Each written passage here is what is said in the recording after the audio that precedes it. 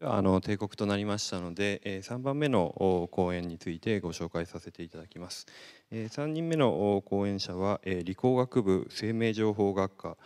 榊原康文教授です。私の方から簡単に略歴をご紹介させていただきます。榊原先生は1985年に東京工業大学大学院修士課程を修了されその後富士通研究所情報社会科学研究所の研究員として活躍されています。その後米国カリフォルニア大学サンタクルーズ校客員研究員を経て1996年に東京電機大学理工学部助教授に着任されております。2002年から慶應義塾大学理工学部生命情報学科助教授に着任され2005年から同学科の教授に就任されております。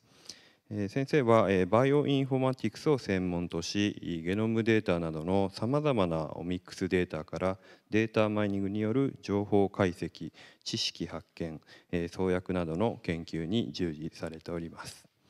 本日はビッグデータが開く新たな生命科学と医療というタイトルで講演していただきます。それでは榊原先生よろしくお願いいたします。えっとご紹介に預かりました理工学部の生命情報科榊原と申します。えっと本日あの今日3代目ということで、えー、最後までお付き合いいただきましてありがとうございました。あの私今日これからお話しさせていただくことは、えっと、多分今あの最初の2代と異なりまして、まあ、だいぶあの皆さんのおそらく卑近な健康とかはまさにこれから、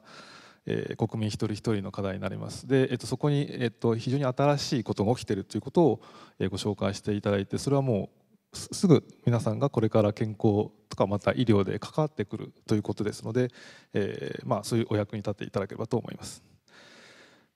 で、えーえっと、これだいぶ前ですが、えっと、もう2年ぐらい前になります。えっとハリウッドの有名なアンジョリーナ・ジョリーという俳優がおりましてあの2年ぐらい日本でもマスコミがかなり騒ぎましたのでご存知の方ともおられると思いますが、えっと、彼女が、えっと、ある時、えー、がんの予防のためにですね、えっと、両方の、えっと、乳房を切除したとこれは決してあのがんになって、えっと、病気になってからではなくてですね予防のために取ってしまったということです。でなんでこんなことを負ったかというと、えっと、これからまあ今日主に紹介するお話になりますが遺伝子検査というものが非常に今進んできました。でそれによりまして、えっと、これから、まあ、あのその遺伝子検査をすることによってですねあなたは将来どのくらいのがんのリスクになる可能性がありますかということがだんだん、えっとまあ、予測ができるようになってきているで、まあ、もちろんその予測だけでは、えっと、あまりにもあ、まあ、乱暴なんですが、えっとまあ、いろいろな、えっと、さらに彼女の場合は多分病理学的な検査もすることによってまあ、あのがんにかかるリスクが非常に高いということが分かったのでそれならばその前に取ってしまうということです。で、えっとまあ、あのこういうところにですね新聞にも出てかなり話題になりました。でこういうことがですね23年前からかなり起こってきています。で同じですね、えー、やはり2年前の2013年に、えー、出生前診断というのが、えっと、新しい方が出ました。で今までもですね出生前診断というのは実は可能でありまして、えっとまあ、赤ちゃんがですね、えっと、母体の中にいる時にそこの、えっと、羊水というものを取り出してで、えっと、赤ん坊の DNA を取り出して検査するという方法があったんですが、えっと、それはちょっとやはり危険が伴うわけですね。でこの方法の画期的なところは母親の血液を取ることによって、えっと、あの胎児の DNA を取り出すことができるようになったということです。でもともとえっと、母親と,、えっと、胎児は当然胎盤で隔てられてますのでそこでこう、えっと、行き来はないんですがやはり、えっと、若干こう、えっと、赤ん坊のですね、えー、いろんな、えっと、DNA とかが、えっと、母親の方に漏れ出すとそうすると母親が普通に血液検査をすることによってその中に微妙に微量にですね、えっと、あの胎児の、えっと、DNA が含まれています。でそれを検査することによって前もって例えばこの場合一番典型的なですね、えっと、染色体がこう、えっと、増えてしまうという、まあ、その染色体以上の、えー、検査をするということなんですが、まあ、それによってその胎児が、まあ、異常があるか遺伝子的な異常があるかどうかと検査をすることができるようになりました。でこれも新しい、えっと、そのテクノロジー例えば実際神経酸という新しいテクノロジーが開発されることによってわずかに微妙に含まれている DNA を取り出すということが可能になったのとあとはまああのこの今日これからお話しするようなたくさんのデータが集まってくることによって、まあ、かなりここに書いてありますが精度は高く、えー、と評価することになりましたで今日こういう話が結構多いんですがじゃあそれを使って果たしてじゃあ子供向か向かないかっていう、まあ、倫理的な問題は今日はちょっと切り離してそこには全く触らないでですねただ、えー、とこういう現状が、えー、と非常に、えー、ともう現実的になっているという話を、えー、といくつか取り上げて、え、これ現代の医療それからこれからどういう医療になっていくかというところを、えーとまあ、皆さんに、えー、とこう知っていただきたいというのが、えー、と目的であります。で、えー、こういうことがですねこの23年前からかなり続いてきています。でもう一つこの頃もですねやはりそのもともとアンジェリーナ・ジョリーが、えー、と米国でそういう検査をするということに興味を持ったのがですね、えー、と実は 20&3Me という、えー、そういう会社があります。でこれはあの IT の、まあ、今日もお話なんかも出てますが Google という企業のそこの、えー、と作った人の奥さんが出資して作った、えーとまあ、あの遺伝子検査の、えー、と会社です。でえっと、一時これインターネットなんかでも、えー、流行ったんですが、えっと、唾液をですね、まあ、あの人間の体ってどこでも取れば DNA が取れますので髪の毛でも構わないんですが唾液を、えっと、こう出してですねそれをこう郵便で送るとその検査を行ってその結果がインターネット系、まあ、要するに Google なんて IT 企業なのでインター経由で見れるというようなサービスを始めました。で最初はですね、えっと、先ほどの乳がんになるとかそういう、えっと、遺伝子的な、えっと、リスクの、えっと、検査も行っていたんですが先ほどのアンジョリーナ・ジョリーみたいにあまりにも、えっと、加熱してきたので現在は、えっと、これあのアメリカの FDA というまあえー、と厚労省というか保健管理局みたいなところがあるんですけどそこにちょっとそれは、えー、とストップしろと言われてまして今あの、えー、とテンセスミーはその、えー、とサービスは停止してるんですがそれ以外に、えーとまあえー、と自分が要するにファミリートリーといって先祖は誰で例えば、えーと、こあの北欧から来てるとかですね、まあ、我々だとこうアジア系なんですがどういうところから来てるとかいうのが、えー、そういうサービスを行っています。でアメリカは結構このこういうサービスをやると面白いことはですね彼らはやはり非常に大きな、えーとまあ、国土ですので、えー、こう親戚関係がこう、えー、と生き別れてしまっている場合があると。でこのえー、と DNA の検査をすることによって当然 DNA の検査をすると正確にこうどういう親族関係にあるかとよく分かりますのでそのここに登録した人が同じ DNA 検査をすることによって今まで生き別れていた人が初めて自分の例えばまあえっと親兄弟であるとか親戚であるということが分かって引き合う引き合うことができたっていうようなこともちょっと起こったりしています。で、えっと、こういうことがまあ起こってきていてで、えっと、面白いことはですねこういうサービスを始めているのが例えば医療機関であるとかそれから製薬会社というような生命科学に関する、えっと、会社ではなくて、まあ、あの IT あ Google なんかまさにそうなんですが IT 企業が始めてるっていうことであります。でもともとは例えばバイオロジーというとこう、えー、とアナログで、えーとまあ、IT 企業というとデジタルというイメージがあるんですが、まあ、その2つがですね、えー、と結びついて今非常に新しい IT の、えー、とが、えー、とバイオ産業を始めているということが起こっています。でおそらく Google っていうのはこう何でも集めることが大好きなわけですね。もともとは最初インターネット上のけん、えっと、いろんなデータを集めてきたと。あとメールそれからブログ動画あと今日先ほどお話小崎先生のお話もありましたこう地図とかですね。でいよいよ彼らはこの DNA もこう集めようとおそらく地球上の全ての、えっと、人類のです、ね、人間の一人一人の DNA を集めてこう何かしたいんじゃないかというのが、えっと、多分おそらく、えっと、この背景にあるところではないかと思っています。でこういう流れはいよいよ日本にも、えっと、来ておりましてえっと、このヤフーとですね DNA って多分これも皆さんご存知だと思いますがヤフーっていうのはもう日本では検索大手の会社でありますでそこが、えっと、去年あたりがですねヘルスデータラボといってやはり先ほどの 23andMe と同じように遺伝子検査を始めています。でちょっとここに書いてありますが例えば2型糖尿病であるとかがんであるとか心筋梗塞肥満っていうようなものの検査を、えっと、行うことができるようになってきていると。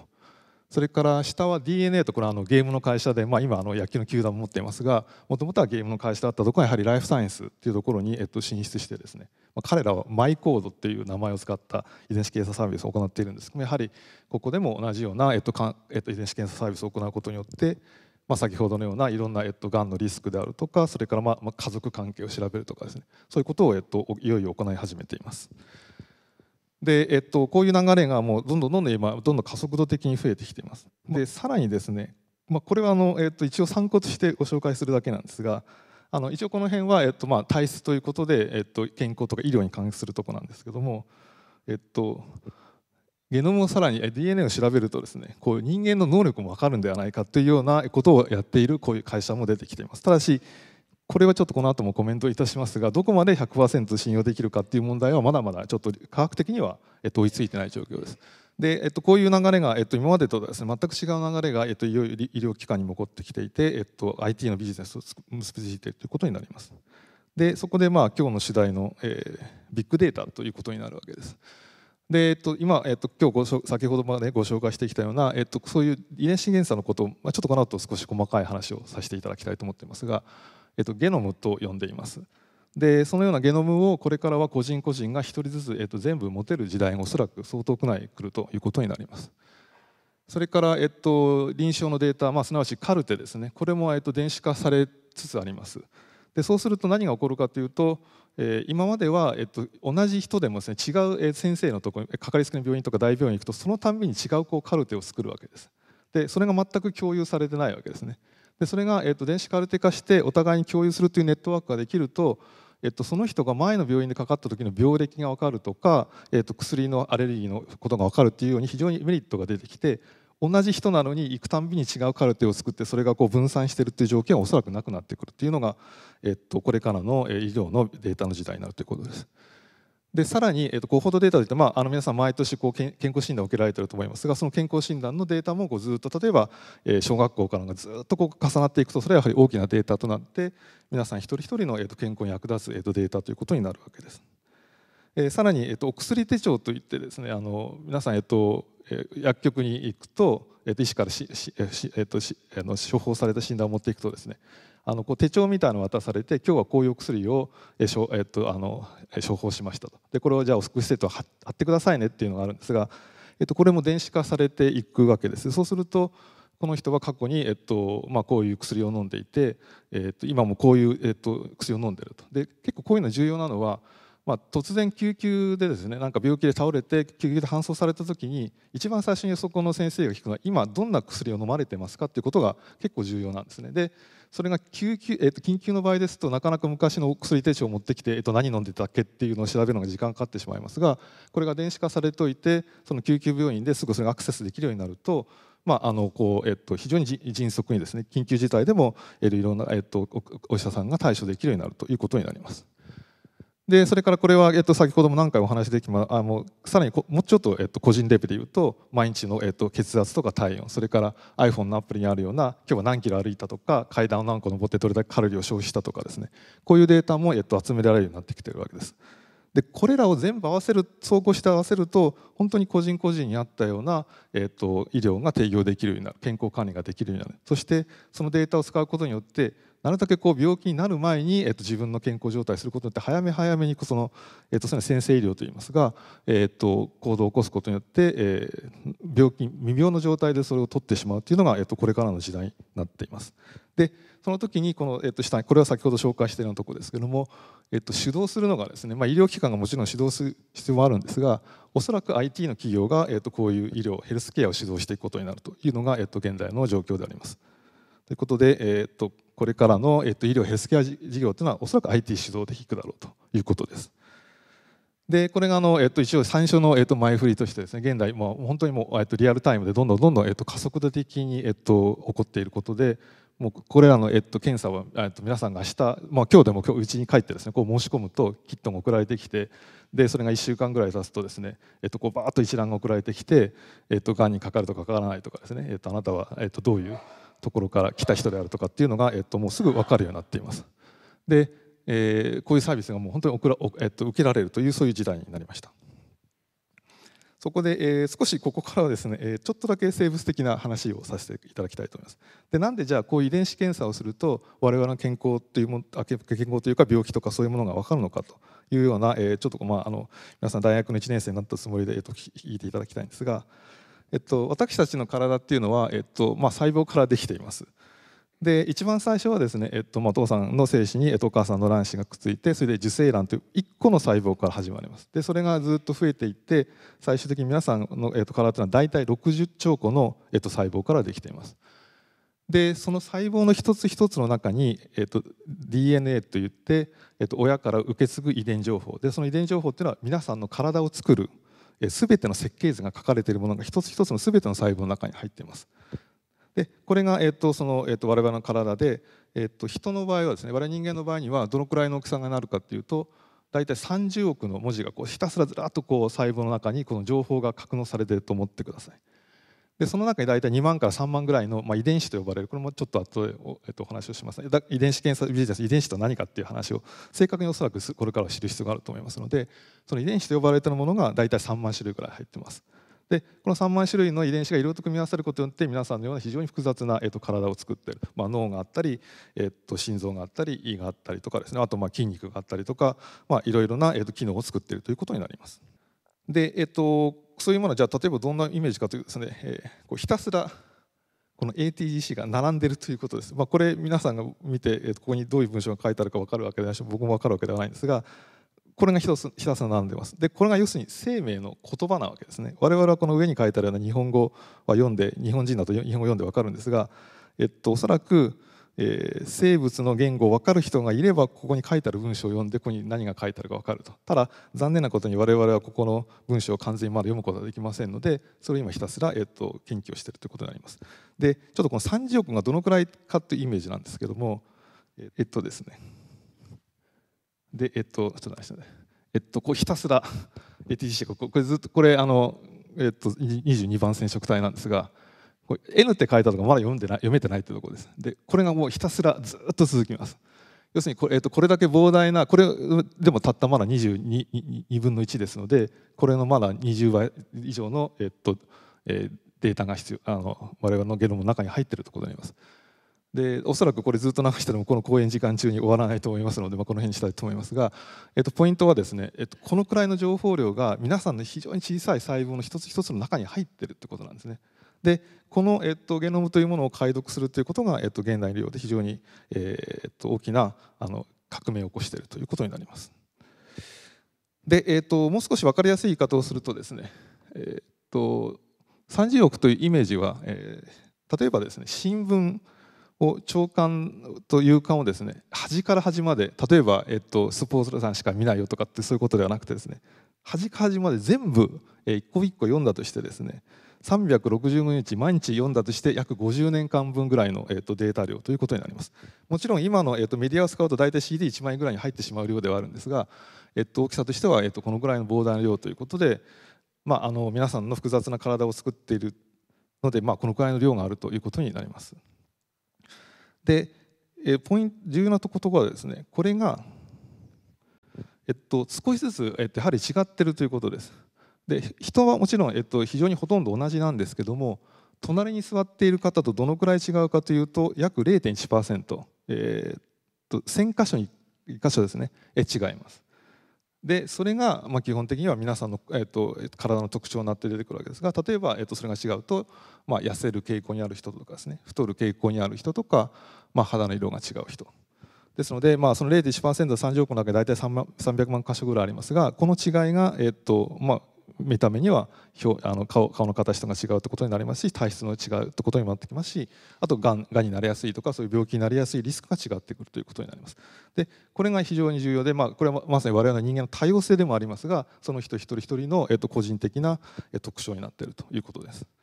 でこれを、まあ、あの先ほどの、えっと、遺伝子検査で調べてその違いを見て、えー、その人の体質を調べるというのが、えっと、先ほどの遺伝子検査ということになります。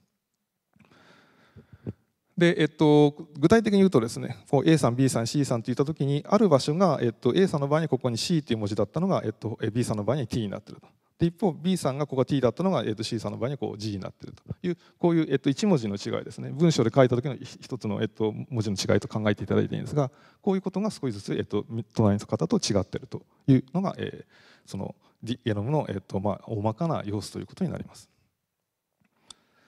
で、えー、っとそうするとですねなんで、えーそれを調べることによって、まあ、がんが、えっと、予測ができるかという話を少しこの後させていただきたいと思います。で基本的にですねがんというのは、えっとまあ、この後、まあ日本人の中で一番あの死亡率が高い、えっと、罹患率が高い大体、えっと、みんな年取ると2人に1人はがんになるという話なんですが、えっと、がんというのは、えー、風邪のようにですねウイルスに、えっと、感染して引き起こされる病気では基本的にはなくてですね遺伝子に異常が起こることによって、えっと、引き起こされる病気です。なわけですねですのでその遺伝子がどういうところに異常が起こっているかということを調べることによってそのがんになっているかどうかというのが分かりますで一方、えっと、これも後ほどお話をしますががんというのはもう一つの特徴はですね、えっと、風邪のように23日前にそのウイルスに感染したので、えっと、例えば34日後に例えば熱が出て発症するというものでは決してありません。えっと、非常に長い時間をかけますですので皆さんの中にがんに関係するような遺伝子異常が起こっておそらく10年20年皆さんの体がずっとがんが育ってきてある日突然こう、えっと、所見が出るような形で、えっと、表面化するというのががんであります。ということで、えーと、がんというのは、えー、見た目ですぐわからないんですね。でまあえーと、がんの例えば膵臓がんのがんの種類によってはもうそれ発見されたするともう大体もう手遅れで、えーと、ちょっともうあの処置のしようがないというものも結構あるわけです。そこでそのがんの異常っていうのが見た目でわからないので、えー、と遺伝子の異常ということを調べることによって、まあ、あの早く診断するとか、えー、早期に見つけるということが可能になってきます。でさらに、えーと、がんは今かなり抗がん剤もいろんないいものが出てきていますのでただしその抗がん剤もですね人によって効く効かないというのがあります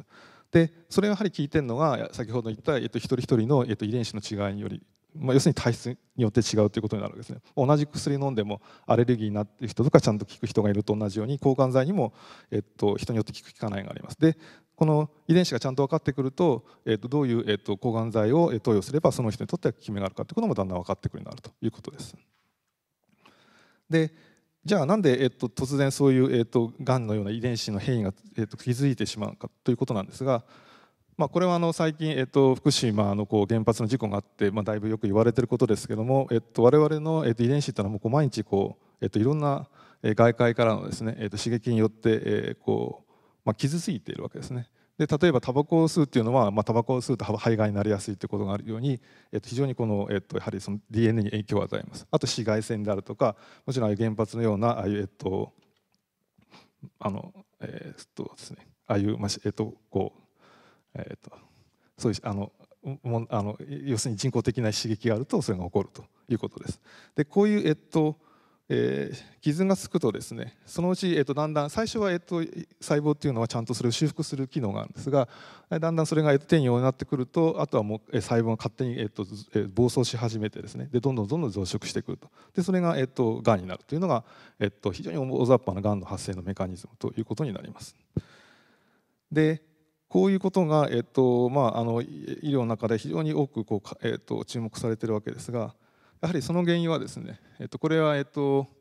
だいぶ前の少し前の、えっと、厚生労働省の統計でありますけれども、えっと、日本人の、えっと、死因別の死亡者数の、えっと、推移ということがありますが、えっと、この悪性新生物というのが、えっと、これがんのことです、えっと、厚生労働省ではこのように名前を付けて呼んでいますでやはり日本人の中で圧倒的にこの、えっと、がんでやはり、えっと、死因になっているというのが非常に大きいんですね、まあ、その次に心疾患とか、えー、肺炎とかですね脳血管症とか、まあ、あの脳の、えーと、脳梗塞みたいな病気もありますがやはり圧倒的に、えーと、こう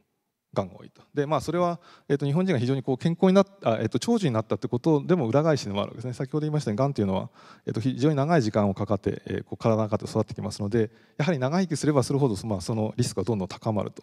いうことになります。でこれはあの、えっと、あの慶応大学医学部の前立腺あ、えっと、泌尿器科の先生にお聞きした話なんですが大体男性はですね、えー、死ぬ死んだ時に、えっと、こう解剖してみるとですね90何パーセントがほとんど前立腺がんにかかっているということです。で前立腺がんはそれほど悪性のがんではないのでそれにかかってもすぐ、えっと、こうあの命を奪うというそれほど危険ながんではないんですが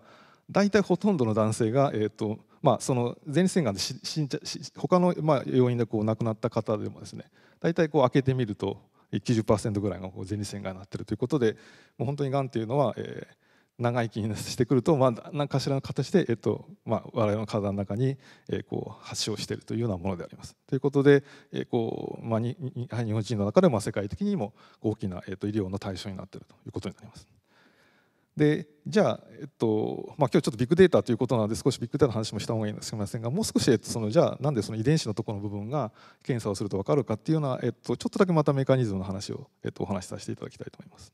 これはですね遺伝子という使う時によく使われる例なんですが、えっと、お酒の強さに関わる遺伝子で ALDH2 というのがあります。であの今日ご来場の方もお酒が好きな方こう毎晩晩酌されてる方とかいらっしゃると思いますがお酒が我々の体の中に入るとですね当然それは代謝されるされます。でお酒の場合2段階で代謝されます。最初にアルコール脱水素酵素というものによって一回アセトアルデヒドというものに、えっと、体の中で分解されます。でさらにこのアセトアルデヒドが、えっと、ここの ALDH2 というですねアセトアルデヒド脱水素酵素というものによって最後酢酸になって、まあ、これはもうほぼ無害なのであとは体外に排出されるというものです。で問題はですねこのアセドアルデヒドっていうのが実はお酒を飲んだ時に悪さをするやつでして例えば顔を赤くしたりとか頭痛くしたとか、まあ、気持ち悪いとかですねこういう原因を引き起こすのはこのアセトアルデヒドってことです。ですのでこのこれを早く分解して酢酸にしてくるこの LHD2 というのが働いてくれれば、えー、こうお酒の気持ち悪さというのがこうないわけですね。ところが、えっと、ここに、えっと、遺伝子の変異が入ると不活性化します。でこれその ALDH2 とのごく一部なんですけどもここの G っていうものが A というたった1文字変わるだけでこの、えっと、遺伝子というのが、えっと、不活性化します。でそれを、まあ、あの遺伝子検査実は調べることができるんですが、えっと日本えっと、これ人口の中ですねどんな感じで分布しているかというと、えっと、これ両方先ほど言いましたようにあの、えっと、DNA をお父さんとお母さんから1個ずつもらいますのでこの、えっと、遺伝子もお父さんからもらったものとお母さんからもらったものと2つ持っています。で両方がですね活性型すなわちこのちゃんと働くもともとの形になっているとその人は、えっと、非常に強いのでこういう人たちはお酒に強いということになります。で欧米人は大体みんなこのほぼ100%、えっと、大体持っているので彼らは実はお酒に非常に強いということになります。でじゃあ一方日本人はどうかというとですねえっと、半分ぐらいの人がその強い両方とも強いあ両方とも持っててお酒に強い人ですところが、えっと、ヘテロ型というのはお父さんからもらったやつは活性型化なんだけどもお母さんからもらったやつはここがこう変わっていて不活性型とか、まあ、逆の場合も、えっと、お母さんからもらったやつが活性型でお父さんからもらったやつが不活性型っていうふうになっています。でこういうのをヘテロと言いますが、えっと、この人たちはですね、まあ、お酒を全く飲めないわけじゃなんですがやっぱりちょっと弱いわけですで日本人は結構この割合が多くて4割ぐらいの方が、えっと、この型を持っていますでさらに深刻なのはですね両方不活性型を持っている人が少なからず、まあ、日本人の場合4%がいますが実はこの人たちは、えっと、お酒を飲んではいけないんですねですから、えっと、お前気合が足りないからお酒飲まないんだろうっていうことでは決してなくてですねもともともう体質的に飲めないですから逆に言うとこの人たちがアルコールを飲むと非常に危険な状態になります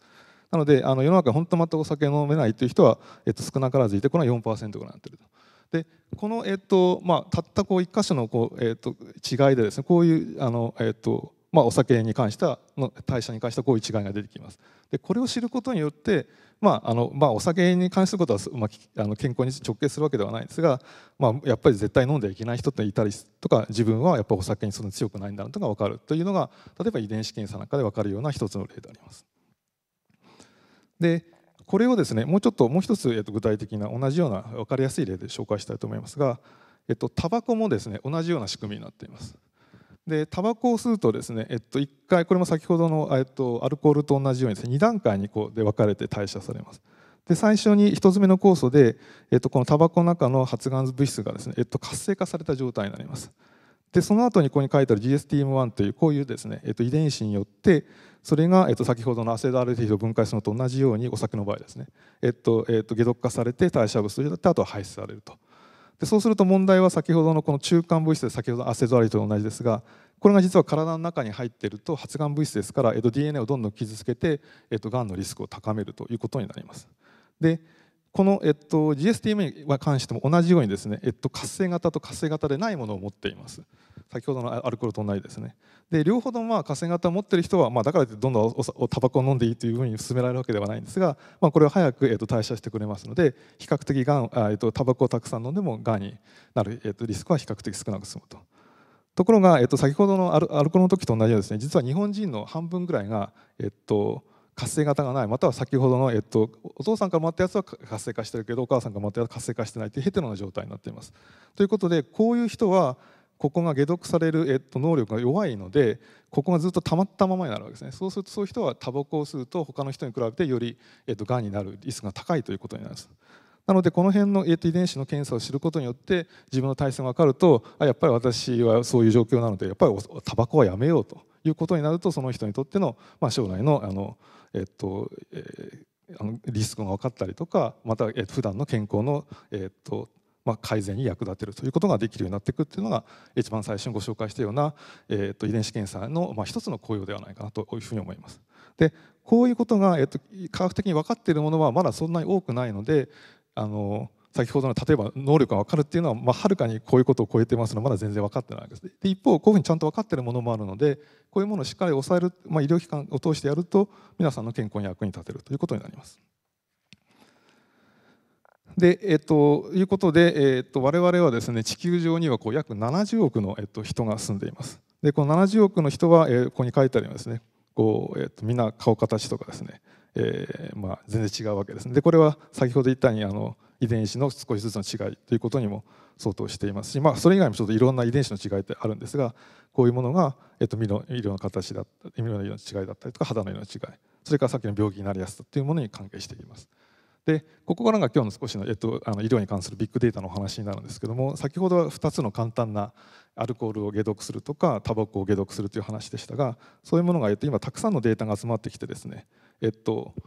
この全ての、えーえっと、DNA 上染色体レベルでいろいろと分かってきています。でこれちょっとあの何書いたかよくわからないかもしれませんがこれ1番からずっと2番3番4番という先ほどの22本の染色体です。でそこにこの丸がついてのですね一個一個が先ほどもしそこに変異が入ると例えばアルコールを、えっと、解毒するのが不活性型になっているとかそういうことが、えっと、いろいろと統計的に分かったりまたは、えっと、病理学的科学的にバイオ生命学的に分かっているものを全部こう集めたものです。でこういうものを、えっと、GBAS と呼んでいますがこういうものが、えっと、今一生懸命集められていてデータベース上に、えっと、保存されていると。でそれを、まあ、どんどんどんどん蓄積していけばより、えっと、いろんな病気に関しての、えっと、データが蓄積されて、まあ、予測したり、え、検査することに役立つということになります。例えば、えっと、この一番染色体のこの一番左一番染色体で一番一番一番長い長い順にこの、えっと、染色体の番号がついてるんですが一番染色体の、えー、この辺をですねこう見てあげるとですね例えばこの辺にもし変異が入ってちょっとこれ後ろの方小さくて見にくいかもしれませんが、えっと、あるワクチンに対してのアレルギー反応があるよっていうことが実は分か分かってるとか書いてあります。それからこっちをもうちょっと見てみるとこの辺にもし変異が入ってるとブレストキャンサーなので、えっと、乳がんになりやすいねっていうような、えっと、変異がの、えっとまあ、あのデータが分かっているというようなことが、えっと、分かっています。でこれがちょっと前に戻りますがこの全ての、えー、こういう、えっと、全染色体レベル分かってきてこれがまあまだまだ今どんどんどんどん、えっと、いろんなデータが集めることによってより充実していろんなことが分かるようになってきているということになります。でこれが、まあ、今の医療の、えっと、一つのビッグデータ生命科学のビッグデータを作りつつあるということになります。で、えっと、なんでじゃあこういうことがですね、えー、可能になったかというとここも少しあの細かい技術的なお話になりますが、えっと、こういう、えっと、我々の DNA を読み取る機械というのがあります。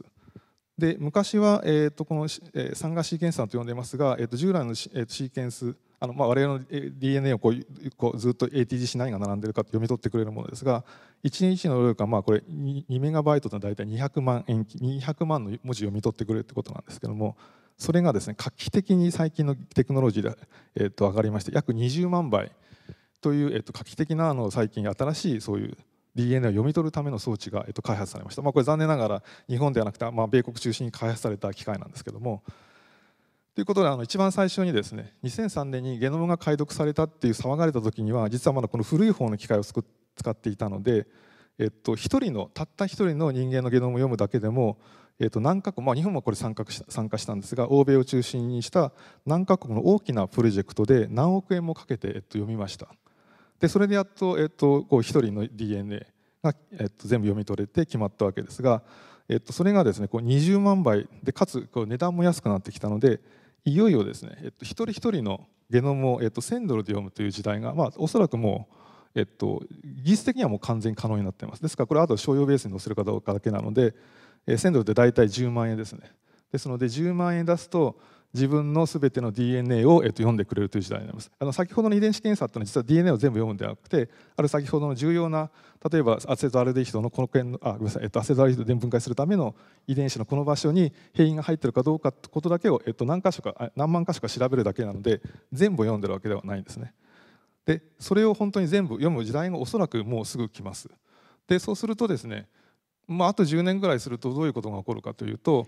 えっと、多分生まれてくると最初にまず血液検査をしてあなたは A 型 O 型ってのをおそらくやると思うんですがそれとほぼ同じように生まれてくるとまずその人のゲノムを全部読み取ってそれをもうずっとその人のカルテに生涯こうついて回るという時代がもう、えっと、もうすぐおそらく来ることになります。でそうするとそのゲノムが全部分かっているので先ほどの、えーと、そのゲノムのどこの場所に変異があるとどういう、えーと、体質があるかっていうものが全部分かるようになります。でそれに基づいた医療、まあ、このゲノム医療といいますが、えーと、こういう薬が効くとか効かないとかいうことも、えー、と全部できるようになってきますのでそういう時代がまあおそらく、えーもうテクノロジー入るのでもしかしたら10年も経たない45年、まあ、ていうかテクノロジー的にはできてあとこのシステムを、まあ、国として取り入れてででそのカルテに載せるかどうかっていうもうそういう時代になっていますもちろん倫理的な問題もあるのでそういうものをクリアクリアしなきゃいけないんですがそういう時代がまさに来てるということになりますでえっとまあ、そういうことを支えるです、ね、ためにまあこういうコンピューターのシステムも必要になってきてるという話です。ちょっと先、えっと、ちょっと時間の使い方もしか出てしまいましたので少し先に進みたいと思います。えっと、この辺は今日はちょっとあんまり、えっと、触れないつもりでつもりなんですけども一方ですね、えっと、倫理的な問題も非常に、えっとえっと、あの生じてきますので例えば先ほど遺伝子検査をやった時にもですね僕の遺伝子検査はこうだったかって公にするのは結構危険だっていうのがあります。で例えば先ほどの病気のリスクとか家系図が分かりますが一方でそれはじゃあ例えば生命保険になる入る時の、えー、と差別になったりとか、まあ、就職とか結婚とかですねそういうものにつながっている可能性も十分あります。それからもう一つ、えっと、ここが厄介なところはですねそれは個人の問題でとどまらない。要するに、えっと、我々は親から受け継いでいて子供に受け継ぎますので自分の DNA が分かると同じほぼ同じようなことが親にもきっとあるだろうし子供にあるってことが分かってしまうわけですね。そうするとまあ自分は俺は別に分かってもいいから俺のゲノム全部こう公開しちゃおうと思うとでも実はそれ親戚の人と子供のことに分かってしまいますのでそういう人に対しての、えっと、個人情報も、えっと、出してしまうということになります。それから、えっと、これはあのこの前もう新聞でも、えっと、始まちょっと出てましたがマイナンバー制度といって我々の国民一人一人日本でもいよいよ番号をつけてですね管理する。でそれを、えっと、医療と、えっとまあ、くっつけようということがもう完全に今決まってますので、まあ、その診療報酬明細書とかですねそれも全部こう、えっと、あのその医療番号とかマイナンバーがつくというような時代になってきています。でそうするともう本当にその個人とそのリスクというものあこういうですねゲノム上の情報っていうのが完全にリンクしてくるでその時にじゃあ個人情報どうやってまあ、今日先ほどもいくつかご質問があったようにですね、まあ、個人情報保護法案というのも、えっとまあ、一緒にこう成立していきますがまだ法整備は十分ではないので、まあ、こういうものは、えっと、完全に解決していく必要があるということになります。でさらにですね、えっと、すごい、えっとあのまあ、アメリカこういうのは進んでるんですが先ほどのテンシーミーという会社はですね、えっと、デザイナーベビーというそういう特許を、えっとえっと、申請しました。でこれはどういうことをやってるかというと、えっと、あの商業のバンクにですね、まあ、精子とかこう保存されてますのでそこの DNA と例えばそれを、えっと、受けて、えー、作るようなですね例えば女性の方の DNA がもし分かったとするとそれを両方入れて先ほどの遺伝子検査のようなことをやるとまあ、がんになりやすいとかなりにくい。逆に言うと、えっと、とても才能頭がいい子供ができるとか、えー、なんでしょうね背が高くてスポーツができるようなものができるとかっていうようなことができるとどの精子と掛け合わせればいいかっていうことがデザイナーベビーという話になってきてですね、まあ、こんなこともまあだんだん未来として、えー、もうすぐそこに来てるというような、えー、と状況になっています。でちょっとちょっと時間使い方悪かったんですが、えっと、最後ただしですね、えっと、このがんとかそういうものは、えっと、単因疾患と呼ばれていて遺伝子では全てはもちろん決まりませんですので普段の環境生活環境というものと合わせて、決まっているということになります。で一方も完全に遺伝子だけで決まってしまいいわゆる遺伝病というもので、まあ、少なからず、不幸な方が存在しますがその遺伝子の変異があると完全に発症すると。で一方逆の方はですね、まあ、怪我をするとかそれはもう遺伝子と関係ないのでそういうものが、ありますがこの我々の普段の生活習慣病と呼ばれているものは単因子疾患と呼ばれています。そうすると、えっと、それに対してですねじゃああの遺伝子以外にどんな、えっと、がんの発生要因があるかとやっぱり喫煙が一番、えっと、大きい。状況になっています。それから、えっと、感染やっぱりですね感染してあのあのがんになるというのは結構ありますで例えば子宮頸がん女性がなる子宮頸がんのこれは完全にもウイルス感染なので、まあ、そういう要因があったりとかあとまあ肝臓がんですね、えっと、肝炎表層ような肝炎ウイルスの、まあ、取ると肝臓がんになりやすいあとお酒も結構大きな要因なのでもちろん遺伝子だけで決まらないのでそこからまあこういう他の、えっとまあ、要因もですね、えっと、考えていくと,、えっと健康に役立つということになります。ということでここがつながっていくのは、えっと、こういう予防医学というのが、えっと、これからの、えっと、時代になってきます。でこれは昔の人がこのアロエを取るとですね医者いらずということで、えっと、先生医療に役立つとで要するに考え方としてはですね、まあ、病気になったら治したいとこれが今までの治療なんですがでも本当は病気にならない方がずっといいよねというのがこれが、えっと、予防ということになります。したがって先生医療というのはまあ、発症前に高い精度で、えっと、予測を行ってですねその病気が起こる前になんとか、まあ、先ほどのアンジョリーナ・ジョリーは本当にそれの、まああのえっと、極端な例でありますが、まあ、あそこまでいかないにしてもなんか早めにそういう、えっと、治療的な介入を行うことによって発症自身を防止しようと。そうするとまあ高齢化社会においていつまでも健康でいられるような健康長寿社会というのが実現できるんじゃないかという話になります。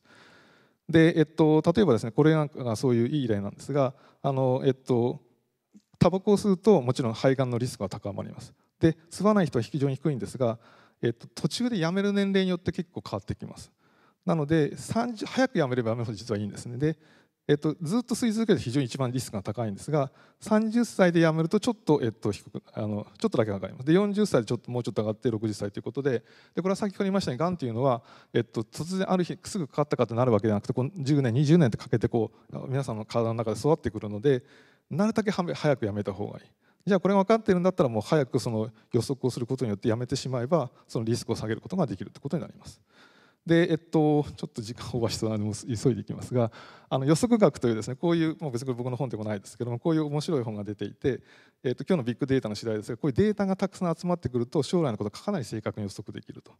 で、えっと、一つ言われているのはですねかん、えっと、この辺のいくつかの事例があるんですがこの医療に関してはですねたくさんのデータを用意すると例えばその患者がやっと治って退院しようという時にですね、えっと、予測してあげていやその人は、えっと、また再発して30日以内に病院に戻ってくる可能性が高いかどうかっていうのは実は正確に予測ができるということが分かっていてそういうことを実施している病院がある病院があるというのがこれアメリカの報告です。まあ、それ以外も例えばですね、えっと、そういうビッグデータを使うとある犯罪がどこで起きやすいかと前もって予測してそこに警官を配布するというのもできるらしいです。で、えっと、ちょっと終わりがちょっとうまくいかないちょっとまだ時間がなくなってまだちょっと話がうまくいかないんですが、えっと、この NHK スペシャルというですねこれ去年の暮れに放送されてこれ非常に面白かったんですが、えっと、これたくさんのです、ね、データを用意してあげると、えっと、今まで助からなかった命が、えっと、助かるというような話ですでこれは決して医療の技術が進んだわけじゃなくてこういうデータをたくさん集めることによって早めに予測するとその、えっと、病気のですね、えっとえー、の予測ができてそれは早めに先生医療ができるという話です。でここにいくつか出てきたのがですね、えっと、例えばこう新生児の感染症感染この、えっと、新生児は、まあ、例えば集中治療室に入ってるんですけど新生児がこのままの状態でいくと、えっと、感染して肺炎を起こして、えっと、亡くなる可能性が高いというのがこうデータがでアラームを鳴らすわけですねでそうすると早めに抗生物質を投与して、えっと、救うとか、まあ、そういうことが、えっと、このビッグデータを使うことによって、まあ、できてくるっていうようなことを、えっと、書いてあります。で、えっと、この中でよく言われているのがこれビッグデータっていうのが現在の医学や生物学を完全に根底から覆すだろうということを言ってますでまさに本当にそういう時代が来ていてそのデータを使うことによって今までで考えられたのが全然違った展開になってくるのはおそらくあるだろうということですで全く自分の話をしたが最後でちょっとだけ話をします、えっと、短いちょっとすみません23分だけオーバーしますが、えっと、こういうことを考えてですね実はあのえっと、2年間なんですが、えっと、この慶応の COIT というプログラムがありまして、えっと、医学部と理工学部と環境情報学部であの、えっと、今まで、えっと、慶応の中でも学部を超えてですね、えっと、産学部で、えっと、共同した研究部上で実はこれは初めてでした。でここの中で、えっと、健康常時の世界標準を創出する、えっと、医学拠点を作ろうというのが、えっと、2年間行われました。でこの考え方は、えっと、一番単純に言うと慶応の病院っていうのは、えっと、外来種数が1日の外来数が一番、えっと、日本の中で一番多い、えっとまあ、一番優秀な、えっと、病院であるわけですね。ですからまあ我々こう都会に住んでる人はそういう、えっと、先生医療あの先進医療を受けることができるんですがその慶応病院をどこでも慶応病院要するに、えっと、医療が、えっと、過疎化しているような場所で、えっと、高度な医療を受けられない場所でも慶応病院と同じような、えっと、そのえ高度な医療を受けられるような、えー、とことを ICT を使って実現しましょうというのを、えー、と2年間やりました。で要するに、えー、と医療の IT 化ということになります。でその医療の IT 化をすることによって、まあ、あのちょっと過疎に住んでいても、えー、と慶応病院の先生と同じくらい高度な、えー、と支援を受けられるでその仕組みをどういうふうにやるかっていう話はちょっとまあちょっと時間がなくなってしまったのでもうちょっとこの省きたいと思いますが、まあ、こんなことを、えー、と行ってきていて、えー、こういう本当にビッグデータを使いながら、えー、先進医療を、えー、もう隅々まで日本の全国隅々まで、えー、と実現していこうという、えー、とそういう取り組みも、えー、と行っていますで我々はこういう研究プロジェクトに入っていたという話です。でちょっと時間がなくなってしまうこれ全部飛ばして最後に、えー、えっとでまあ、こういう話をですねちょっとあのポスターでうちの学生が発表してますのでもしよろしければあのこれはあの、えっと、抗がん剤が、えっと、その、えっと、個人のゲノムによってどれだけ、えっと、違うのである体質の人はその抗がん剤効くよ効かないっていうのをどうやって予測するかっていうようなことを、まあ、研究したというような、えっと、ポスターですねよろしければそこに行ってまた細かい話を聞いていただければと思います。で最後に、えーまあ、こういうメンバーで、えっと、あの研究室をやっていて、まあ、この3人が後で、えっと、外で、えっと、発表してると思いますのでよろしければ、えっとえっと、あのおいでいただければと思います。えっと、ちょっとすみません、最後、雑白であの取り留めもない話になりましたが、えっと、以上で終わりにしたいと思います。どうもありがとうございました。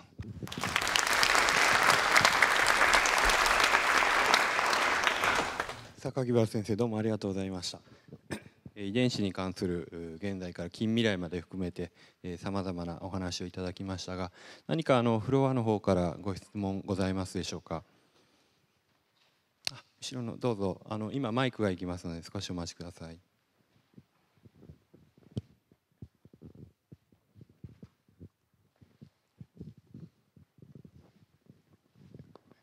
身近なあの興味のあるお話ありがとうございます。あの、えー、世に難病と言われるものたくさんあるんだろうと思うんですけれどもその一つであの例えば ALS っていうやつは遺伝子の異常であの起こるものだと言われてるんだと思うんですがこれについてはどの遺伝子がもうおかしくなってるっていうことはある程度もう特定されてるのかということともしそれが分かったとしてあの iPS 細胞みたいのを何か適用すればそれの予防というかあるいは予防というか治療なのかもしれませんがそういう可能性はある程度分かるような形になってるんでしょうか？はい、あのまさに今、えっと、おっしゃられたこともそのものだと思います。あのえっと僕もちょっとあの ILS は専門ではないので、えっと、あまり正確なことは言えないんですがある程度遺伝子は絞られてきてその変異というのが大体分かってきていると思います。でそこに対してじゃあ iPS を使って、えっと、その例えば、えっと、その、え薬を開発するとかまたは正常な、えっと、まあ、その人はもう疾患にかかってしまっているので他の人が持ってくるしかないんですが、えっと、その正常な、えっと、ALS にならない、えっと、タイプの遺伝子を持った人の iPS を持ってきてそれを移植するとかいうようなことがおそらく、えっと、これから臨床レベルで始まるのではないかと思っています。であのえっと、実はその iPS を使った再生医療というのは経営は非常に、えっと、医学部が進んでいましてあの岡野先生と僕も一緒にあの共同研究させていただいているんですが彼はあの ALS ではなくて、えっと、パーキンソン病とかですねそれから、えっと、あの脳、えっと脊髄損傷とか脊髄損傷っていうのは、まあ、あの外外的な例えば事故を起こしてそうなってしまったとかいうがんですがその人たちを、えっと、iPS を使って、えっと、正常な、えっと、細胞を入れることによってこう、えっと、機能を回復させるっていうこと研究を行っています。でえっと、多分ご存知だと思うんですがあの iPS は、えっと、目目のまず、えっと、移植に関しても始まりましたし、えっと、実はパーキンソン病に関してはもう、えっと、京都大学ので治験が始まりますので、えっと、ALS も、えっと、相当進んでいます。ただ、えっと、iPS が難しいのはそのまま入れると、えっと、眼科になるっていうのがまだ完全に、えっと、制御できていないのでそこをどうやって、えっと、うまくコントロールしながらあのその治療を持っていくかっていうところだと思いますがただ予想を超えるぐらい非常に早く進んでますので iPS の技術とそれからこういう今日紹介させていただいたようなビッグデータを使いながらその、えっと、疾患に関係している遺伝子変異がこうどんどん同定されていくとその両輪でおそらくそういう再生医療を使ってその難病も今後は、えっと、いろいろと克服されていくんではないかと思います。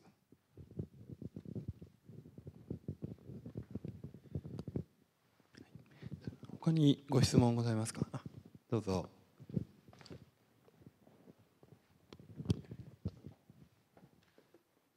あ興味深い話ありがとうございました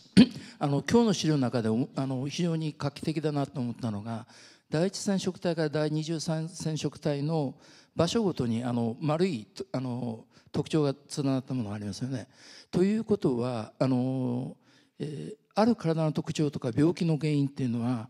あるあの例えば第一染色体の5番目の場所という単体のものなのかもしくはその第一染色体の5番目と、えー、第三染色体の23番目という複合的な条件で決まるものなのかまあ多分あるケースはケースバイケースなんだろうと思うんですけどその辺の補足をお願いしたいと思います。はい、あの非常にとてもいい質問であのサイエンティフィックで質問だと思います。あのえっとままさにおっしゃる通りで、えっと先ほどの G バスで分かっているのは比較的えっとそこの場所の単一だけで分かるっていうことがえっと大体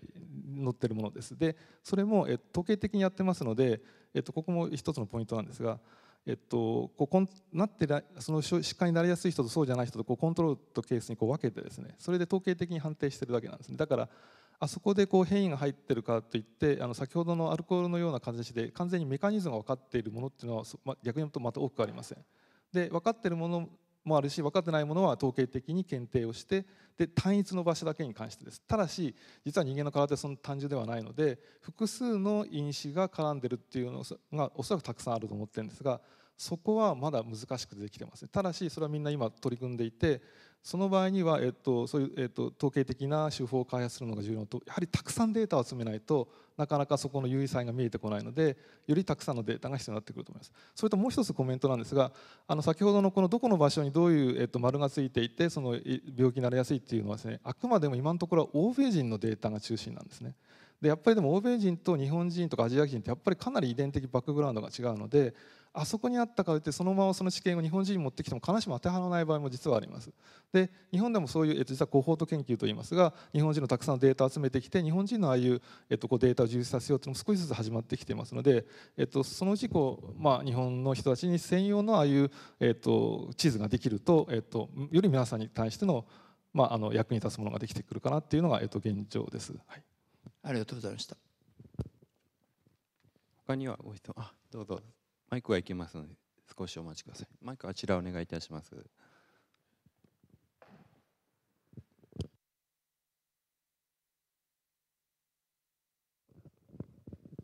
あのあ、えー、素晴らしい講演ありがとうございました。あのどこでも慶応病院大変あの、えー、素晴らしいなと思いまして、あのご解説いただけなかったパワーポイントあの可能であれば少しおあの教えていただければと思います。えー、ね、はい、えー、っとあの